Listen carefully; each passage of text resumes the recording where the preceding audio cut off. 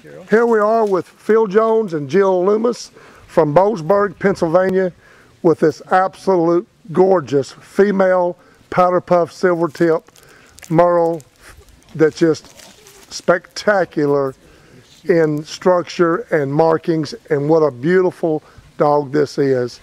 And this is their second Aussie from us and she is going to be one heck of a beautiful girl and she already is really showing her beauty already. Look at this puppy. Her name is Opal. Hello, Opal. And she loves her new family already. And this is one beautiful female blue merle. We're so proud that our dogs were able to produce something this beautiful. And it just never amazes me what they can do if you uh, give them the chance to do so.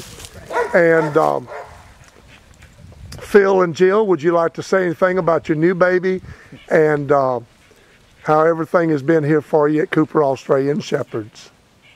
Well, we're just so very happy to be able to. We've been looking for an Aussie like this for a while, and to be able to get a pup from Justice and Red Ryder is pretty special. And as you can see, she is just a perfect blue merle, and we're we're very fortunate to be able to take her back home and where we have Elijah, where we, Elijah was our black tri that we got from you last year, and so we're just happy.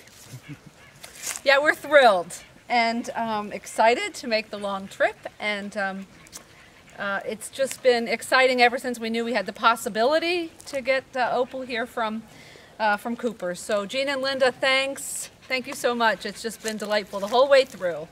And uh, we're so excited. Well, we're happy for you and we'll always love her.